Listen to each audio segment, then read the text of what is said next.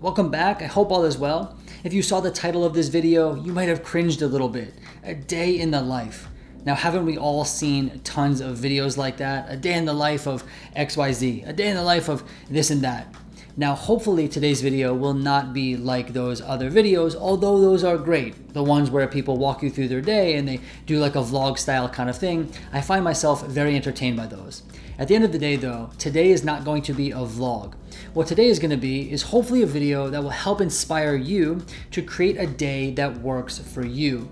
Now, I'm gonna walk you through a typical day. Well, I'm actually gonna walk you through two typical days because there's kind of two different types of days that I have in private practice. And I'm gonna take you through from the morning until the evening, and I'm gonna explain to you what I'm doing, why I'm doing it, and then hopefully this will help you learn something about what I do, and maybe you'll wanna implement some of that.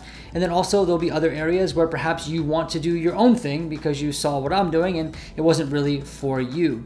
So by the end of this video, I hope you'll be able to at least think about what you want your day to look like. For those of you who have been in private practice for a while, maybe you'll be able to do something a bit new after watching this video. Or for those of you who have not started yet and are curious about what it might look like to be in private practice, hopefully this gives you a good starting point. So let's jump right into that.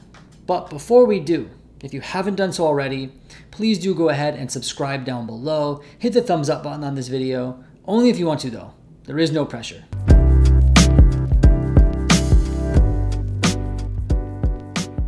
So I sit down at my desk at 9 a.m. to begin work. Now I'm not seeing clients at 9 a.m. My first clinical session starts at 10 a.m.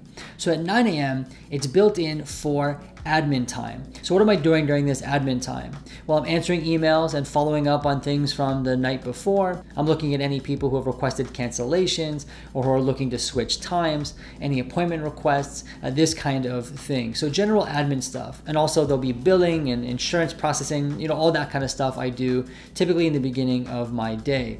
The other thing I do during this hour is to review all of the charts for the clients that I'm going to see that day. So I can remember what we talked about last session. I can get prepared with any homework or material that I want to bring into the session, and so that my notes are set up before we start. Uh, this is crucial because this allows me then to complete a note following the session in under 10 minutes. And I'll talk more about that in just a few minutes. So the admin time in the morning is multi-purposed. And now again, these are the typical things that I do on a daily basis. However, each day it could look a little different depending on the needs. So if I need to deal with a billing issue and it takes 45 minutes, I'll spend that time doing the billing issue. If I have treatment plans to do, uh, maybe I won't answer as many emails, but I'll work on the treatment plans for the clients I'm about to see. So I have to have some sort of flexibility. At the end of the day though, I have found that having an hour long admin session before I start my day helps me to really be prepared and ready to start seeing clients at 10 a.m. It has been really, really helpful for me. And then at 10 a.m., I begin my client sessions. Now, I run sessions every hour and my clinical sessions are 45 minutes. So I'll see a client for 45 minutes and then I'll spend that other 15 minutes writing a note and taking a quick break or even allowing some buffer in case a session goes a bit longer than planned. And that way I'm never rushing into my next session that starts the following hour. And I'll typically run sessions for about four in a row, sometimes more, sometimes less but I typically have four client sessions in a row. There's really not much more to say about what I'm doing. I'm seeing clients for those blocks of time. And then after that, I have built in one hour for a lunch break. And this is where, obviously, you guessed it, I'm going to eat lunch and then rest up and get ready for my next sessions. By rest up, I mean just stepping away from my desk and sitting somewhere else or walking around to get ready for my following session. I have found that this is a very important time to build into the day. It not only allows me to kind of rest up and get ready for the following sessions, but it allows me to eat which, as you know, is very important for sustaining energy. Uh, again, I think that this hour is really, really crucial to build into the day. When I first started private practice, I discounted this. I figured I could just eat in between sessions with like five minutes, or I'll eat after, it's not a big deal. Uh, that didn't work out that well. I would usually be super hungry, uh, really tired, and it just wasn't helpful. So I quickly transitioned, and now I have an hour slot built in for lunch. Now, again, like anything else, of course, there are times when emergencies pop up or I have to do something during that time. Uh, but for the most part, I do try to take lunch during that hour break. Following this lunch break, I then start client sessions again, typically within the three to four session ballpark. Same as before, every hour, 45 minute sessions, 15 minute for admin and anything else that needs to get done. And my last client session will be at 4 p.m. so that I can wrap up everything by around 5:15. So when I see my last client at 4, it obviously ends at 4:45 and then from 4:45 to 5, I finish that client's notes and do what I do for the other sessions. And then for the last 15 minutes of the day, I will do any kind of urgent emails that need to be answered before that day and pretty much complete any urgent admin task that's come in throughout the day that cannot wait until tomorrow. I will also use that time to build a to-do list for the following day. So the non-urgent things or the things that can wait, I don't want to just have to scramble through my, uh, my inbox the next morning. I create a list that kind of gets my day started the following day.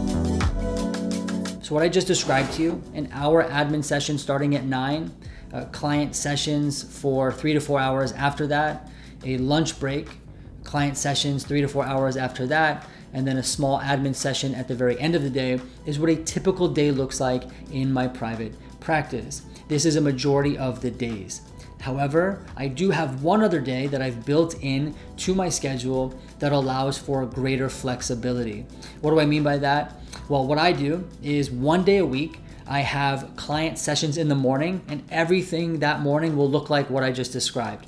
So 9 a.m. start time, and then 10 a.m until about 12 uh, client sessions. And then after that, though, I have blocked off the afternoon. This then gives me an entire afternoon to work on things like marketing, uh, building the website, any sort of creative projects that I'm working on for the private practice. Maybe it's it's it could be really whatever I need to do that takes a decent amount of time for my practice or my business. And so that will allow me to do things that are that cannot be confined to like 5 minutes, 10 minutes, 15 minutes. These are times for big projects and admin. So when it's time to do taxes, sometimes I'll use that time to do my taxes, my accounting, all that kind of stuff. And for me this is really crucial because you can't get all your tasks done into like hour long blocks or uh, 15 minute blocks and you really don't want to be doing this kind of work outside of your business hours.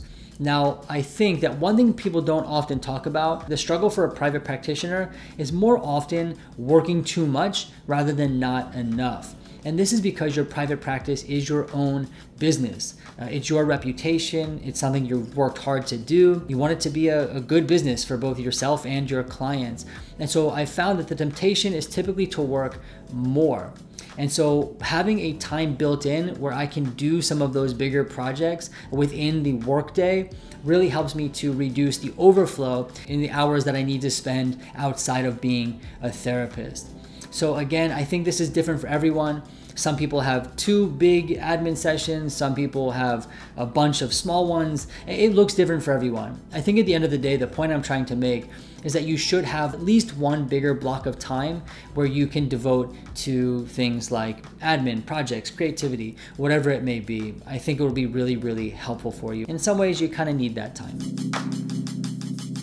Let me tell you about a couple of things that I've been thinking through as I created a schedule like this. And the first thing, which you've already mentioned, is how do I keep my work contained within my work hours? uh, you are a private practice owner and a therapist, and you don't necessarily want this to bleed into every area of your life. You know, you don't want to be answering phone calls, you know, every weekend and late at night and answering emails all the time. Eh, maybe you do, but for most people, they kind of want that work-life balance. At least that's what they share with me. And so one way to do that is to organize your day that lends itself to creating that kind of separation and balance for yourself. And so you really want to consider how do you get some of the admin tasks done within your day. And so this is why I have 45 minute sessions, but block off an hour so I can do all my client notes uh, right after the session is over. This is why I have a hour long admin session at the start of my day and a 15 minute one at the end of the day. This helps me wrap things up and get admin stuff done at the beginning and end of the day so I don't have to uh, take it home with me.